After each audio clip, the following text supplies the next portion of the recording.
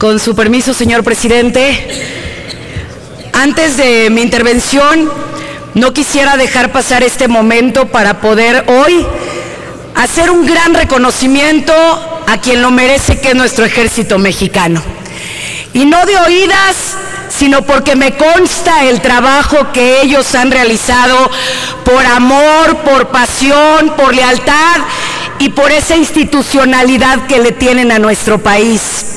Como presidenta municipal me tocó trabajar con ellos y dar la lucha frontal contra la delincuencia organizada y contra el crimen organizado. Y ahí estuvo el ejército mexicano como siempre ha estado, en los momentos más duros y más difíciles de nuestro país, ahí siempre está el ejército mexicano, con institucionalidad, con lealtad a nuestro país, con compromiso con los mexicanos y sobre todo con un gran respeto y pasión a nuestra patria. Por eso hoy lo que debemos de decir es qué vamos a hacer por el ejército. Y ahí es donde hay que ayudarle. Y ahí es donde hoy los senadores del PRI le decimos al ejército mexicano, cuente con nosotros. Haremos las leyes y las reformas que necesita el ejército para tener certeza, para facilitar su trabajo y para que podamos nosotros facilitarle lo que hoy han hecho, que no está establecido en la ley, pero que lo hacen por pasión, por amor, por la paz y por todos los mexicanos. El ejército mexicano es y seguirá siendo orgullo de México.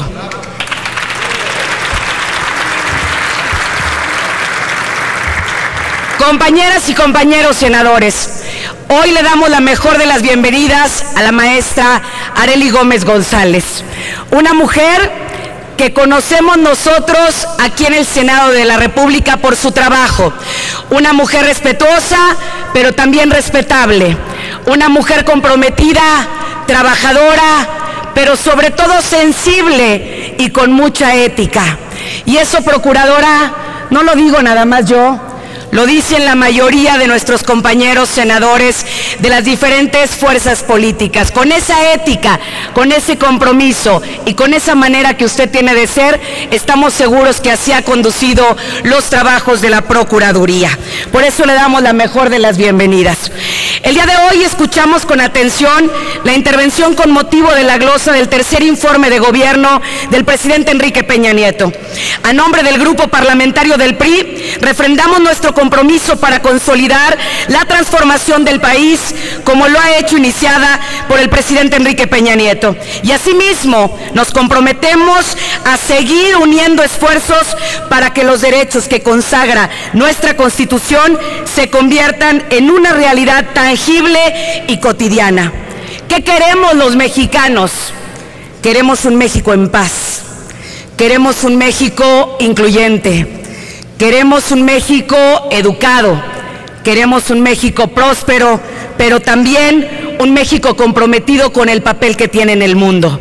Y para ello necesitamos instituciones sólidas, confiables y sobre todo cercanas a nuestra gente. Por eso requerimos ese compromiso permanente para trabajar por una procuración de justicia eficaz, transparente y respetuosa de los derechos humanos, una justicia cercana a las y los mexicanos. El día de hoy tenemos la oportunidad de conocer a detalle el trabajo que ha realizado la Procuraduría General de la República para construir un, país de justicia y de leyes, donde se fortalezca el Estado de Derecho y el desarrollo de todos y todas los mexicanos. Pero más aún, el día de hoy podemos sentar las bases de la colaboración más sólida del Senado de la República con la Procuraduría General de la República. Y así alcanzar nuestros objetivos en común, que es poder lograr la implementación de todas las reformas constitucionales y legales que harán de México un país mejor. Hoy enfrentamos un gran reto que requiere y exige la participación de todos los poderes. Este reto es la adecuada implementación del nuevo sistema penal acusatorio. Como miembros del Estado mexicano, estamos obligados a que los mexicanos y las mexicanas tengamos un sistema de justicia penal que funcione y que no deje espacio para la impunidad ni para la corrupción que tanto daño le ha hecho a México. El presidente Enrique Peña Nieto se ha hecho cargo de este tema y siempre ha manifestado que no hay marcha atrás, que la lucha frontal se hará contra la corrupción y contra la impunidad. Por ello, aprovechamos para pedirle a la Procuraduría General que no deje de trabajar para que a más tardar el 18 de junio del próximo 2016 tengamos el sistema penal acusatorio sea toda una realidad en el país. Hoy podemos decir que hay avances muy cuantificables, pero además no podemos bajar el paso en este tema. Desde el Senado también debemos trabajar para que las leyes pendientes en esta materia se cristalicen y hagan posible una justicia más eficaz. Hoy resulta innegable que al igual que México, la Procuraduría General de la República vive tiempos de cambio. Primero, la ciudadanía exige una institución abierta, transparente y además preocupada por la protección y por el respeto a los derechos humanos. En este sentido debemos de reconocer el trabajo que ha realizado y le exhortamos a que no baje la guardia en este tema. Y sabemos porque la conocemos que no lo hará. Hay temas como el caso Iguala que conlleva a una de las investigaciones más complejas de nuestra historia. Los mexicanos y mexicanas deben saber qué fue lo que sucedió para que esta tragedia no se vuelva a repetir. Confiamos en que usted, tal y como lo ha señalado, no descansará hasta poder tener al último responsable y que se haga justicia. Esta investigación ha constituido un enorme reto para el Estado mexicano y para la capacidad institucional de la Procuraduría General de la República. El caso es tan relevante que incluso el presidente de la República presentó una iniciativa de reforma constitucional y manifestó su compromiso inquebrantable porque se conozca la verdad sobre los lamentables hechos sucedidos en septiembre del 2014 en Iguala Guerrero. Que nadie quiera confundir lo que ha ya manifestado el presidente de la República. Claramente, la investigación del caso Iguala no está cerrada. La investigación sigue en pie hasta dar con cada uno de los responsables. La Procuraduría ha demostrado voluntad ha demostrado compromiso y disposición absoluta para colaborar cercana y permanentemente con el grupo interdisciplinario de expertos independientes y para llegar a la verdad de estos hechos que tanto lastiman a nuestra sociedad. Prueba de ello son los cientos de diligencias que ha llevado a cabo y que han desembocado en la detención de más de un centenar de personas, así como la transparencia en la investigación cuya versión pública está a disposición de quien quiera consultarlo y esto es un caso inédito en nuestro país. Esto habla de que la Procuraduría, su titular y el presidente Enrique Peña Nieto no tienen nada que esconder hay una Procuraduría más abierta, más transparente y con un absoluto apego estricto a la ley. A mis compañeras y compañeros senadores, sobre todo a quienes señalan responsabilidades sin proponer soluciones. Recordamos que también es tarea del Poder Legislativo trabajar conjuntamente para poder dotarle de los instrumentos legales a la autoridad y darle las herramientas que necesita para combatir los delitos que aquejan a la sociedad. Resulta poco creíble y mezquino que se exijan resultados y a la vez se utilicen las leyes como un instrumento de negociación política en vez de afrontar su responsabilidad en la construcción del país que hoy tenemos y el país que todos queremos.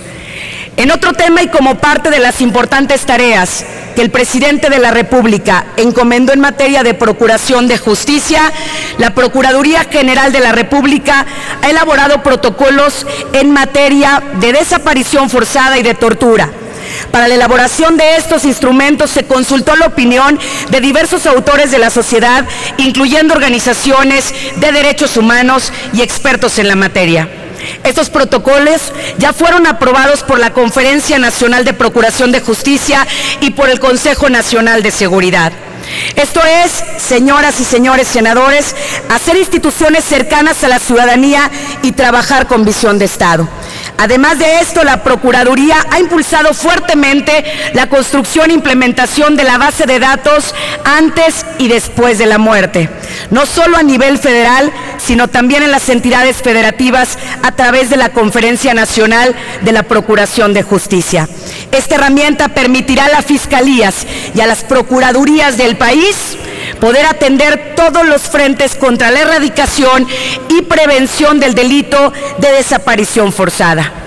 Este grupo parlamentario reconoce el compromiso durante la administración del presidente Enrique Peña Nieto y de la señora procuradora Areli Gómez, que han realizado a favor de la procuración de justicia eficiente y el respeto por los derechos humanos.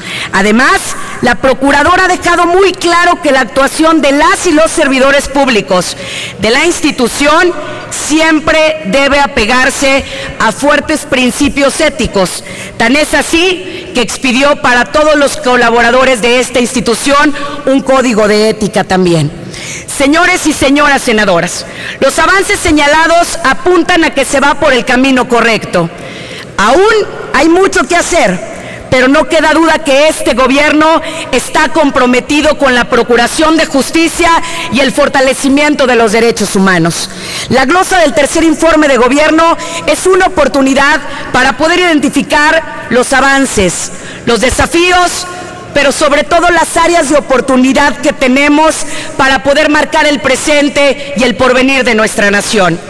Identifiquemos y dignifiquemos este ejercicio con seriedad y responsabilidad, con argumentación e integración propios de una democracia madura.